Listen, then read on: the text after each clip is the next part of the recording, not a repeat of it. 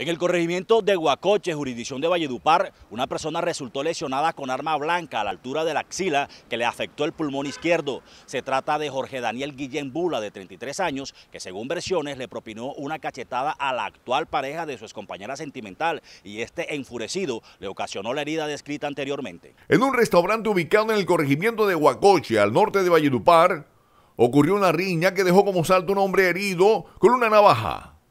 La víctima, identificada como Jorge Daniel Guillén Bula, de 33 años, de ocupación chef, fue herido con arma cortopunzante a la altura de la axila izquierda, según el reporte policial. Esta persona, al parecer, inicialmente agredió a Yaider Guzmán Palencia, quien es actual pareja de su exmujer.